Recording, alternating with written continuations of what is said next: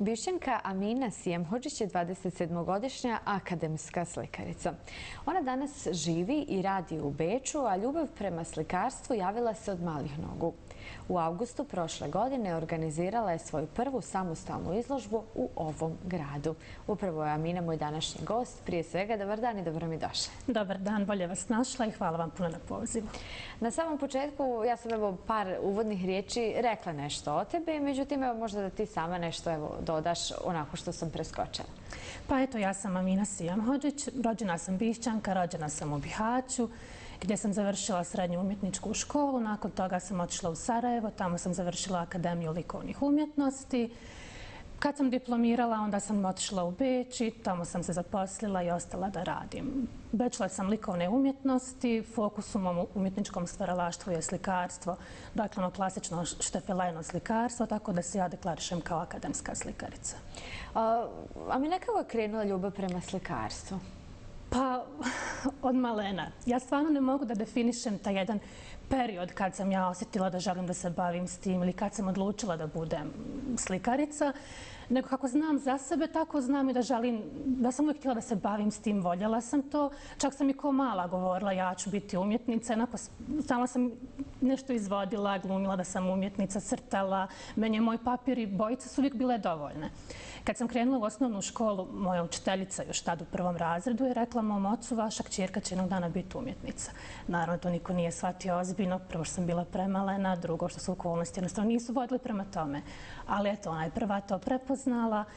Bila je u pravu, kasnije kroz školovanje i u osnovnoj školi. Ja sam za sve vrlo lako gubila fokus. Ništa me nije toliko dugo interesovalo kao likovno. Eto, moj najdrži predmet uvijek bio crtanje, slikanje. Tako da je i odabir srednje škole bio sasvim logičan da ću ja ići u umjetničku školu. Željela sam to, to je bio moj lični odabir podrška roditelja. Kroz srednju školu sam prepoznala se u tome, odlučila sam ići dalje tim putem, tako da je i akademija na kraju došla na red. Završila sam je i ostala sam na tom putu. Mi smo pogledali i same fotografije sa tvoje samostalne izložbe. Prva samostalna izložba bila je u Beču. Evo, gledali smo i kako je to zapravo, kako je to tebi bilo, da kažem, kako si ti to sve doživjela i kad je to bilo, naravno? Pa ta moja prva općenito samostalna izložba, eto takve su okolnosti bile da bude baš u Beču. Nakon što sam se ja preselila tamo, sasvim spontano, nisam ja to dugo planirala. Ona je trebala da se održi 1. aprilu prošle godine, ali zbog pandemije i cijele situacije sa koronom, ona je otkazana. Tako da je onda u zadnji trend dogovoreno da ona se organizira u augustu prošle godine, 2020. godine. Nisam imala baš puno vremena za organizaciju i s obzirom da je to bilo sve u zadnji tren, ja sam stvarno zadovoljna kako je sve prošlo. Ehm, to je za mene bio događaj godine, još uvijek sam ja pod dojmom ako kad se prisjetim nekih stvari, jer mislim da je svakome ko se bavi umjetnošću, bio on amater ili profesionalac, krajnji cilj da svoje radove predstavi publici mi zato radimo. Nama je to nešto što nas motiviše za naprijed. Tako da u jednom takvom e, situaciji kao što je pandemija, u jednom takvom gradu, gradu umjetnosti, da ja dobijem priliku za svoju samostalnu izložbu, za mene je bilo nešto veliko u čemu sam onako maksimalno uživala i posvetila se maksimalno. E, zadovoljna sam kako je prošlo, zadovoljna sam i odazivom. Ona nije dugo bila otvorena, trajala je tri dana, ali dovoljno da bude posjećena, viđena i kritike su bile dosta pozitivne, što je mene naravno obredovalo i motivisalo za dalje.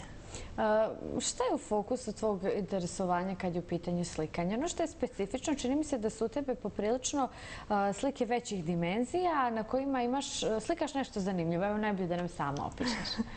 Pa ja sam već rekla da se ja fokusiram na štefelajno slikarstvo, dakle ulja na platnu su onako moja najdraža tehnika, ali ono što mene inspiriše i što je glavni motiv mojih slika je priroda.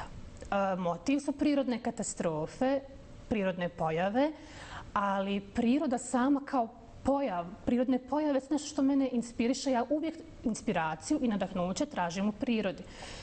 Još u, možda u srednjoj školi, tamo u trećoj, četvrtoj godine srednje škole, sam se upoznala sa impresionističkim slikarstvom.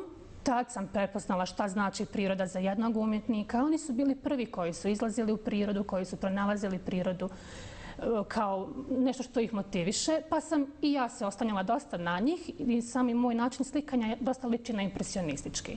Tako da priroda i prirodne katastrofe, ali ja kad kažem prirodne katastrofe, ljudi koji nisu vidjeli moje slike, koji nisu imali priliku da vide moje slike, zamišljali kao nešto zastrašujuće.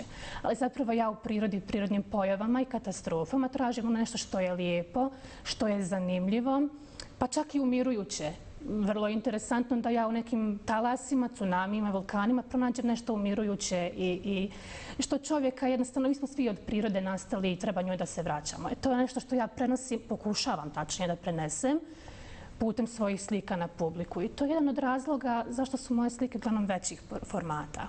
Mhm. Jer priroda je ogromna, ona nema kraja i sve moguće načine koje ja mogu da jednu prirodu i pojave u prirodi koje su konstantne i nepromjenjive, da prenesem na sliku koja je statična, ja sve moguće načine iskorištavam. Jedan od tih načina su velike dimenzije slika. Mhm. Da li možda na neki način želiš i da ukažeš na ovo što se danas događa, a to su prvo te klimatske promjene? Pa kako da ne? Naravno, mislim, svi smo mi upućeni šta se mhm. dešava, čak i ova pandemija. Jedan dokaz koliko smo mi zapravo svi zavisimo od prirode. Kada se dešavaju ovako neke promjene, neka ne tako ugodna dešavanja u društvu, što nam je svima prošle godine, od zadnjih ovih godinu i više, bilo neka utjeha. Svi smo se vraćali prirodi, svi smo tražili spas u prirodi, znali smo da je to jedino što nam preostaje. Koliko god je ona sačinila opasna, kada ja slikam prirodne katastrofe, svi znamo da se mi nekad tad moramo vratiti. I tako da, e, zašto da ne? Zašto moje slike ne bi bile jedna poruka društvu, općenito jedna poruka svijetu, da, mhm. da, da malo obratimo pažnju na klimatske promjene, da mi ne možemo bez prirode. Ona bez nas može, ali mi bez nje ne možemo. Kad su u pitanju uopćenito život u Beču, stvaranje u tom, sama si rekla, umjetničkom gradu, koje bi projekte izdvojila? Na čemu trenutno ti radiš? Pa Beč je jedan grad eh, gdje se stalno otvaraju nove prilike. I stvarno je nemoguće da te prilike ne iskoristiš jer nešto te tjera. Kada ti se stalno sa svih strana nudi, onda te nešto tjera. Pa sam tako i ja, gdje god krenem u kojem god pravcu, krenem, dotaknem se nečega što je vezano za umjetnost. I imam nekoliko projekata na kojima trenutno radim, koji su u planu, koji treba da se realiziraju. Sve to ide dosta sporije s obzirom na ovu koronu, pandemiju, okolnosti nisu baš olakšavajuće kad su u pitanju neki društveni događaj. U pripremi je moja sljedeća samostalna izložba. Najbitno da li ona bila u Beču ili negdje u Bosni i Hercegovini, ona je u pripremi. Ali je uvijek pitanje hoće li se moći ostvariti. Tako da je i moja naredna samostalna izložba jedan od projekata koji je u izradi. Osim toga, ja puno surađujem i sa drugim umjetnicima, da li iz Austrije, da li iz Bosne i Hercegovine, pa čak i nekim koji se bave nekim drugim vrstama umjetnosti. Trenutno radim na jednom projektu sa djevojkom koja je iz Bosne i Hercegovine, isto živi u Beču. Mhm. Ona ima svoj muzički i obrazovni institut. Pa sad kad se krajem augusta vratim u Beč, mi smo organizirali ljetnu školu, kamp za djecu, dakle mlađe generacije, gdje će imati priliku da kod nje sviraju instrumente različite, a kod mene imat ću, ja ću voditi jednu kreativnu radionicu oslikavanja keramike. Tako da ima različitih projekata. E, u posljednje vrijeme, shodno poslom kojim se bavim, e, dosta sam se fokusirala i na spoj psihologije i umjetnosti, na koji način se umjetnost može da prožme i kroz druge sfere. U mom slučaju mene zanima taj spoj e, psihologije i umjetnosti, umjetnička terapija nešto što je u Bosni i Hercegovini još uvijek relativno nepoznat pojam, u Beču i u drugim, u Austriji i drugim ovaj, e, evropskim zemljama. Umjetnička terapija se priznaje kao efikasna terapija u olakšavanju života dementnih i starih ljudi, e, maloljetnih delikvenata, ljudi sa nekim posttraumatskim simptomima. Tako da stvarno, eto, na tome trudim se da radim što više, još uvijek je to istražujem, naravno nisam stručna na području psihologije, ali kao umjetnik koliko mogu da doprinesem tome, to je moj trenutni fokus. E, možda da, da li ćemo imati prilike te vidjeti u Bihaću? Evo, spominala se onako malo se se dotakle teme e, naredne samostalne izložbe. Da li, da li da očekujemo nešto u gradu na Uniji? Ja se iskreno nadam ja uvijek stalno spominjem to da su moji prvi koraci, moji prvi početci umjetnosti bili baš u Bihaću. kasnije u Sarajevu, ali u Bihaću je sve počelo i naravno da bih voljela u svom rodnom gradu da organiziram samostalnu izložbu i to što prije. Jer smatram da imam šta da pokažem i želim da podijelim svoje radove i svoje stvaralaštvo sa svojim sugrađanima. Tako da Biće, biće, mora. Mora, mora biti. Mora nešto biti. E, možda na samom kraju neka poruka za mlade ljude koji e, se onako istinski žele baviti sa, sa slikarstvom, sa umjetnošću. Međutim, to je onako i u Bosni i Hercegovini danas dosta, da kažem, neizvjesno zanimanje. Šta bi im ti poručila? A, ja uvijek kažem, pošto radim puno i sa djecom i razgovaram s mladima, nijedan posao nije garancija nigdje nema garancije. Ono što je garancija za uspješan posao, karijeru i sreću u tom poslu je da radiš to što voliš. Pa tako i umjetnost.